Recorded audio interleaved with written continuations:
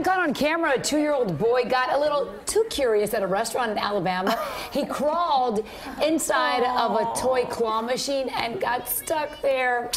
Firefighters had to come and rescue him because the restaurant did not have a key to open the machine.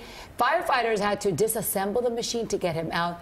Fortunately, he was not hurt. And my question, where's Buzz and Woody when you need him? Uh, yes, right? right? His face was just like, um, how did, how, how did